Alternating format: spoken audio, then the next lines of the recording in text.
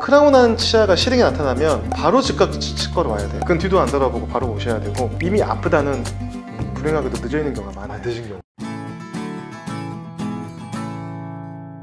고마우신 구독자님들 오늘도 클릭해 주셔서 정말 감사합니다. 오늘도 이동환 TV에 대단한 분 나와주셨습니다. 20년차 치과 의사이자 미니시를 직접 개발한 미니시 테크놀로지 대표님이시죠. 미니시 치과병원의 강정 원장님 나오셨습니다. 안녕하세요. 네, 반갑습니다. 네. 그동안 경제- 굉장히 많이 진료하셨기 때문에 크라운 치료도 많이 해보셨을 거고 네. 부작용도 많이 보셨을 텐데 그래서 오늘 저희가 준비한 주제가 있습니다. 바로 네. 크라운의 수명과 교체 시기에 관한 내용입니다. 아 예. 네. 일단은 우리 치과 치료하면 뭐 때운다, 음. 뭐 씌운다. 예. 네, 그 많이 쓰죠. 되게 쉬워요. 그냥 네. 이가 어디 충치가 생겼으니까 네. 충치 긁어내면 떼워야 되는 거고. 그렇죠. 또 이가 아까처럼 어디 귀퉁이가 크게 날아가거나 네, 네, 또 네. 신경치료하거나 이가 약해져 있으면 당연히 좀 보강을 하기. 위해서 뭐 씌운다든지 네, 네. 예, 거기에 맞게 이제 진료를 이제 고뇌해 드리는 거죠. 음. 당연히 손상 부위가 적으면은 떼운 게 좋고. 손상 부위가 크면은 이제 우리 크라운으로 이렇게 씌우는 치료를. 보통 일반 치과에서 다 그렇게 시행을 하고 있어요. 음. 예. 근데 이제 나이가 들다 보면 이제 충치도 생기고 네. 이렇게 뭐 염증 생기고 하다 보니까 어쩔 수 없이 크라운 하신 분들이 많더라고요. 맞아요. 예. 근데 이게 한번 해놓으면 네.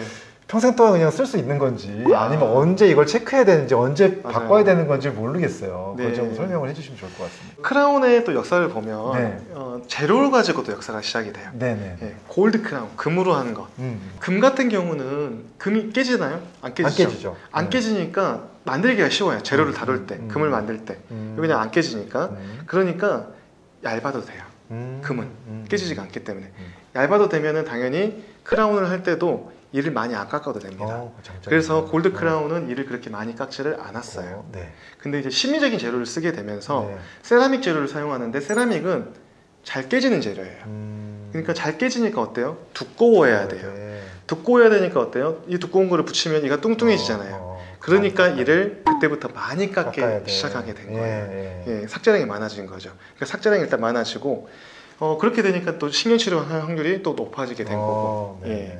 그래서 지금 지르코니아 크라운이 단단한 재료이기 때문에 좀 덜 깎기는 하지만은 음. 단점이 지르코니아하고 치아하고 완벽하게 화학적으로 결합하지가 않아요. 어. 한 덩어리가 되지 않아요. 음. 그러니까 지르코니아 하나가 스스로 버텨내야 되기 때문에 음. 지르코니아 역시도 두꺼워야 되기 때문에 음. 이를 많이 깎게 됩니다. 음. 예. 그러니까 이를 많이 깎는다는 것은 일단은 이가 실을 수 있는 부작용을 갖고 간다. 어. 그 다음에 실수, 즉 음. 의사가 조그만 잘못을 하더라도 음. 나중에 탈이 많이 나요.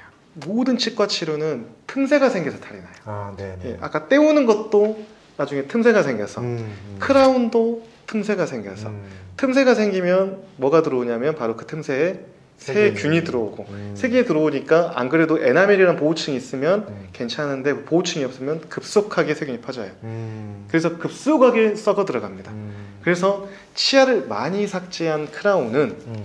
sul자가 조금이나 잘못해서 정확하게 만들지 네. 않으면 네. 그 틈새에 세균 들어와서 바로 썩어버려요.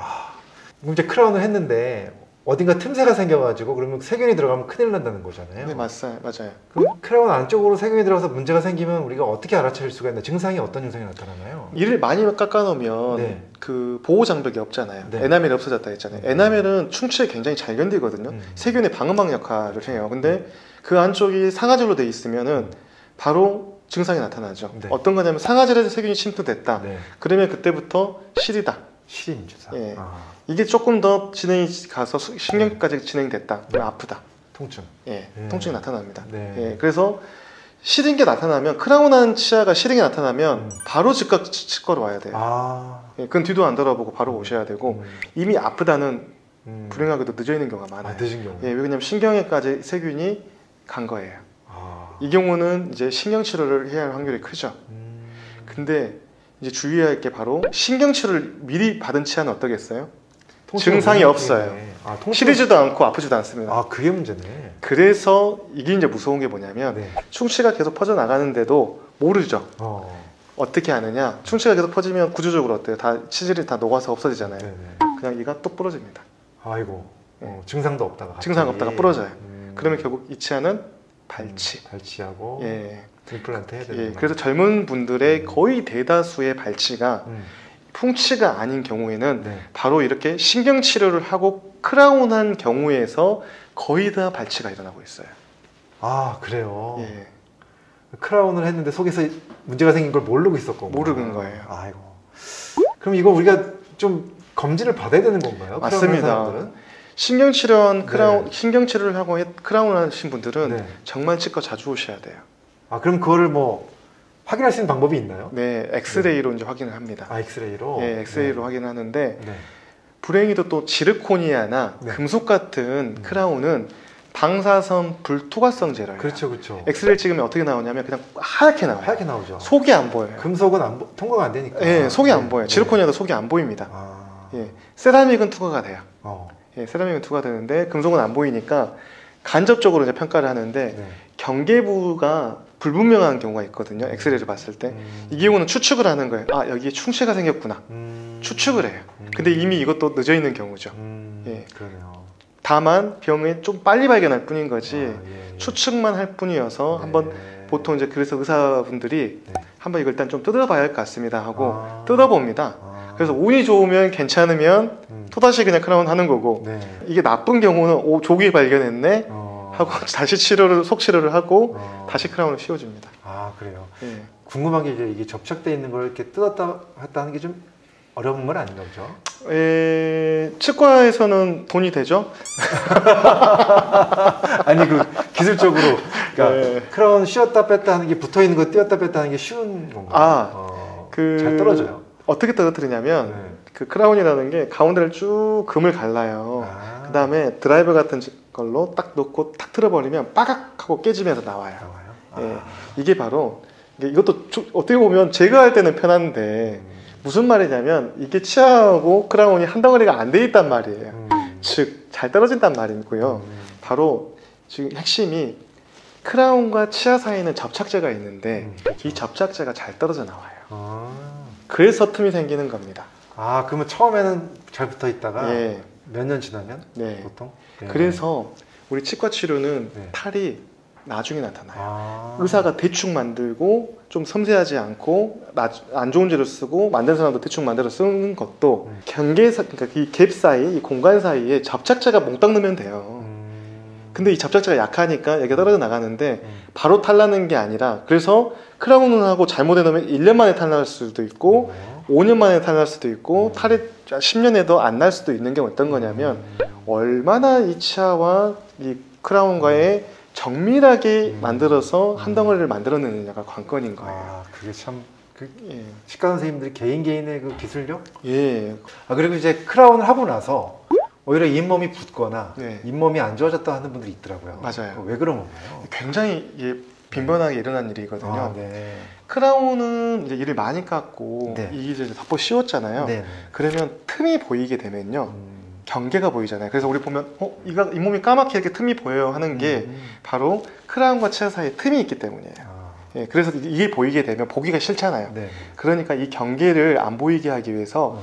이 경계를 잇몸 하방에 만듭니다. 즉 아. 치아를 깎을 때 잇몸 속까지 깎는 거예요. 아. 그러니까 경계는 안 보이는데 이제 문제가 발생하죠. 음.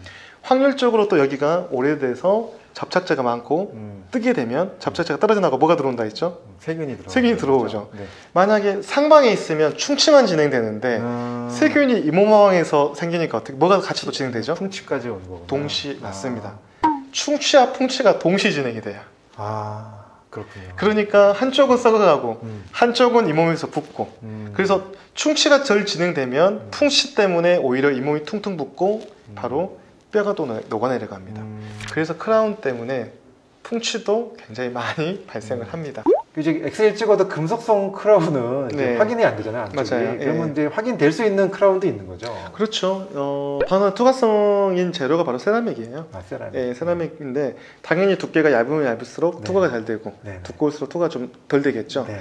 미니쉬 같은 경우는 워낙 얇기 때문에 아, 그냥 바로 보여요. 아, 그냥 그래요? 시술하고 직후에 보이고요. 음. 접착제까지도 얼마나 기포가 생겼나 안 생겼나까지 다 볼 수가 있어요. 아 엑스레이로. 예, 바로 어. 바로 그냥 보입니다. 음. 하지만 좀만 두께가 두꺼워지거나 했을 음. 경우는 보면은 이게 접착제가 비어 있는 건지 음. 예, dead space라는 공간이 있는 건지 이런 것들을 확인이 불가하죠. 아 그렇군요. 네. 그럼 이제 기존에 뭐 금속성 크라운을 했던 분들도 있을 거고 네. 그거 이제 빼서 이제 교체하는 경우가 있는데 그땐 미니시로 교체하는 경우도 있나요? 예, 많아요. 아, 예. 음. 그러면은 치료를 재치료를 할 때는 어떻게 하냐? 음. 크라운으로 이미 많이 이를 깎았잖아요. 네. 그 부분은 상아질과 비슷한 재료가 또 따로 있거든요. 음. 이 부분을 한 번을 얹- 이렇게 다시 덮습니다. 아, 아, 그래요. 그 다음에 껍질을 바로 미니시로 다시 한번 또 껍질과 비슷한, 그러니까 에나멜과 비슷한 재료 다시 한번 아. 이중으로 만들어냅니다. 아, 그렇구나. 이래야지만 치아가 약간 희면서 예, 아까 어. 충격이 오거나 했을 때도 건들 수 있고 어. 예. 그래서 오래 갈 수 있는 게 음. 바로 치아랑 똑같이 만들어내야지만이 음. 오래 갈 수 있고 오히려 싫었던 사람들도 네. 아팠던 사람들도 이런 방법을 했을 때 많이 좋아지거든요. 어. 가장 그 대표적인 분이 바로 아까 음. 언급하셨던 그 정영준 회장님. 아, 네네.